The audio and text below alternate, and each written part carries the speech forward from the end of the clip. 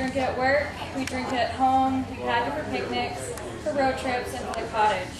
We drink it because we think it's healthier, um, cleaner than tap water. We see it every morning on the train to and from work. We justify paying $3 for a single bottle because there aren't any other options besides pop and juice, even though it's more than a liter of gas. We think we're being environmentally friendly because plastic bottles can be recycled, but we need to stand back and ask ourselves, where do all the plastic bottles go? In fact, they don't get recycled like we think. They end up in our landfills. The reasons that the council gives for backing this campaign are that bottled, the bottled water industry sells bottled water for large profits, plastic bottles are filling up landfills, and due to the increased burden that the water industry places on the water system, about 20% of Canadian municipalities have faced water shortages in recent years. The ultimate goal of this campaign is to promote public water services, demand that, that water be recognized as a human right, and restrict the sale of bottled water in public facilities. 30 municipalities to date have banned the sale of bottled water, and the COC hopes to further this campaign in the city of Barrie. Basically, in our literature review, we wanted to see what was done in the previous studies that were done previously and uh, some of the gaps that we could uh, incorporate into our research. So we found that there were a lot of um, North American studies uh, that compared tap water preferences versus bottled water preferences. Um, two notable Canadian ones. Uh, one was done in Vancouver and the other one was done in Hamilton, Ontario, so not too far away from us. Um, and basically what we found were that residents don't have much confidence in municipal drinking water. Um, and some of these reasons for why they didn't choose it is because it was due to organoleptic preferences, which are the sight, um, the sight of it, so the look of it, uh, the smell of it, and the taste of it. Um, so that's what we wanted to look at in our study.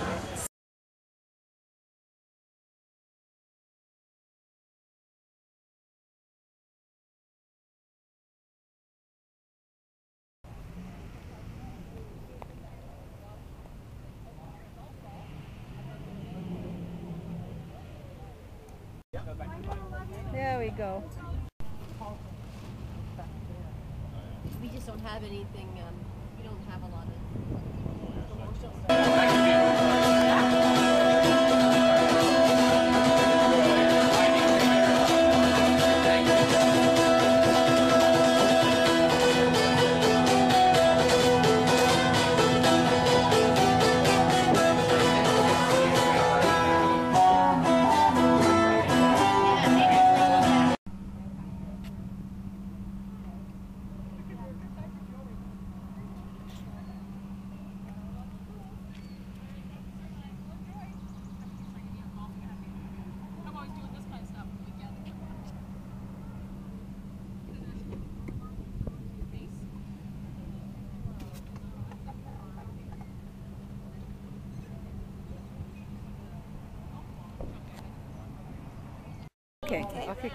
The Splash Festival is being sponsored by the Alliance for Better Leg- Alliance for Better Georgina, Ladies of the Lake, uh, the town of Georgina.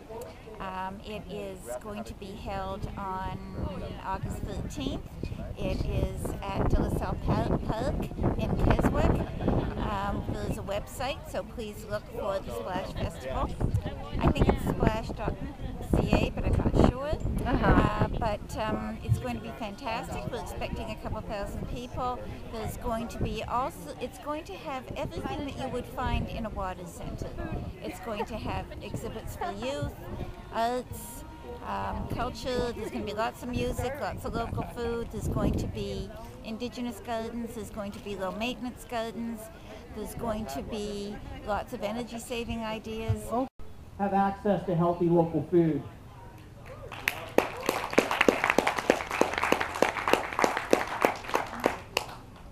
The second area is to say that we need to put in place a policy framework so that all Ontarians have access to healthy local food.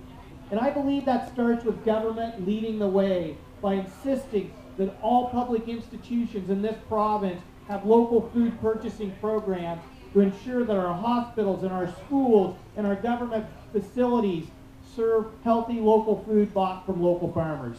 That's right. And this is where like good leadership and good community is important. I call that model of social change beacons of change. So you don't try to go out and sell it to the world. You try to embody it, you try to create a lighthouse, and through that beacon of change, the people who are attracted to that will come, and the natural affinities will, will build on that. And we call that process commotion and contagion. Co-motion, moving together, and contagion, as opposed to selling. And we believe that it's a much slower, much more organic, but much more resilient process.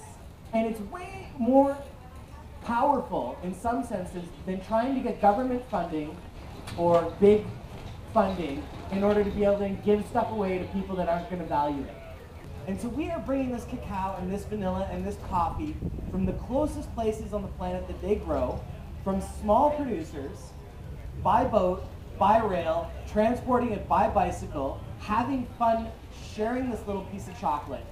But we have a saying, be careful when you eat this little bite of chocolate or you drink this little drink of chocolate. Because in so doing, you are becoming part of a radical political protest. Mm, there you go. Because that's how it happens, right? People people don't realize it, but the little things we do add up.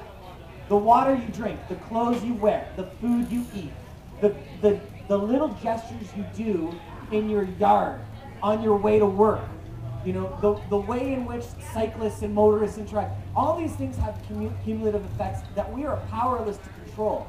But where we're not powerless is the way in which we can celebrate the dignity, the creativity, and the art of living in our communities, not trying to convince and sell it to people, but really just enjoying it. What a pleasure. What a What a pleasure. Thank you so much. And the chocolate that they make is outstanding. Outstanding. Now, That is chocolate. If I were to grind it through there three more times, I would just be smoothing it out. Yeah, that's it. You can you can make it.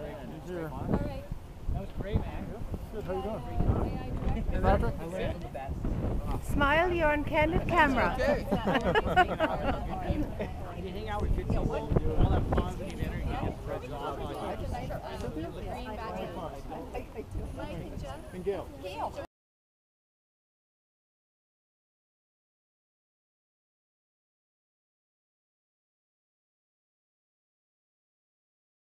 I've had a chance to explore Eco Barrie and all the fantastic groups and, and the wonderful people who have participated in this.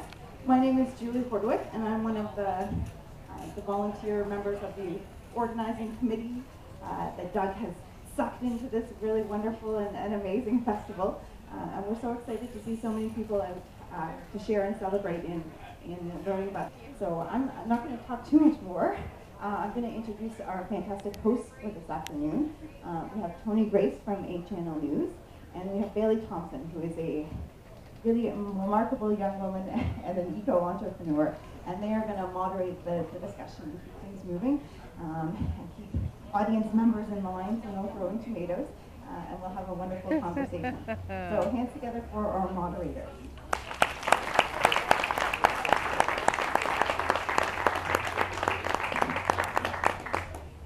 Thank you very much, Julie. Better put the microphone on. Appreciate those kind words. Oh. Okay, so my name is Tony Grace from A Channel News at 6, and Bailey Thompson, of course, is with me.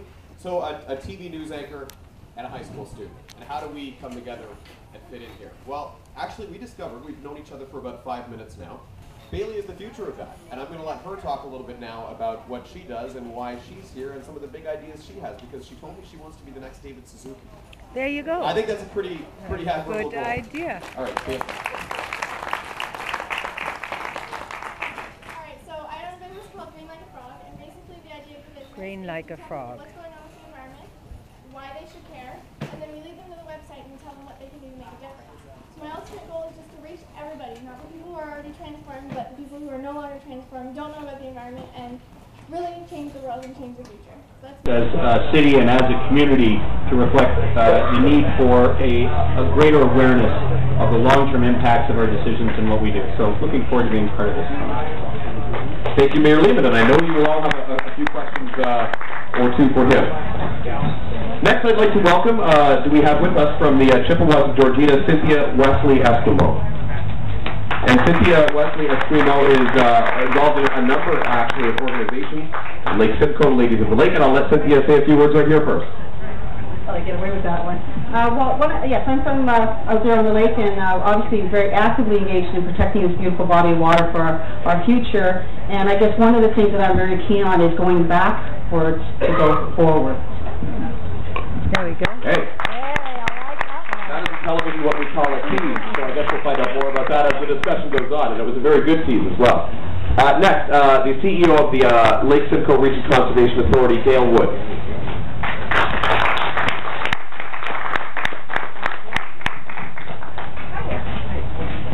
Well, everybody. It is uh, wonderful to be here today, and it's so nice that the rain held off, even though I brought my umbrella. So um, I've been working for the Lake Simcoe Region Conservation Authority now for 15 years, but it's our 60th anniversary. And uh, what we do is we like, take a look at the entire Lake Simcoe watershed. So all the 35 rivers that drain into Lake Simcoe and then eventually out into Lake Couchiching. We take a look at keeping the rivers and the lands around it healthy and clean, restoring and protecting, and work with partners, many of them that are up here today. So great to be here. Thank you so much. system. Thank you, Gayle, and we look forward to hearing from you as well about uh, not just the lake itself, but the uh, the snowball effect that you just talked about with all of those uh, tributaries. Okay, next, uh, another uh, face that needs uh, no introduction, uh, somebody who is uh, very well known to all of you, and that is our MP for Barrie, Patrick Brown.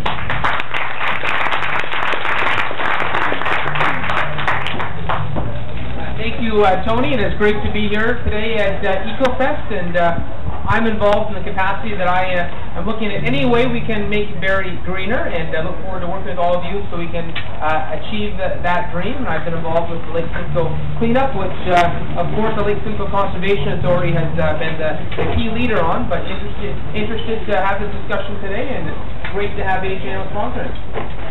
We're glad to be here. Thank you, Patrick. We'll hear from you in a little while as well. Next, I'd like you to welcome from Back to Basics, Andrew Miller, to tell us more, a little, a little bit more about what that is. Hi everyone, yeah, I'm Andrew Miller with Back to Basics Social Development, a local not-for-profit in town. I'm also the provincial candidate for the Green Party, and uh, so we're in a few hats at this festival, but we've got, we're involved in the EcoPod building, the container home there. Uh, I manage that project, and we're working on bringing some, uh, in- involving youth in part of this transition, part of this change, and uh, in being very uh, innovative in, in our approach. And uh, I'm really proud to be part of this discussion. Thank you. Thank you, Andrew. And rounding out our round table today is Mike Fox of Transitions Town Barrie. Mike.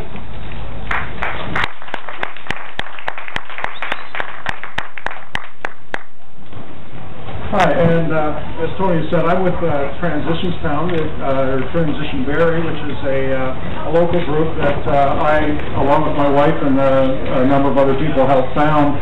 Uh, I'm neither a scientist nor a politician, uh, nor involved uh, professionally in environmental issues, but I just feel that as a normal citizen, everybody needs to get involved, and uh, that's what brings me here today.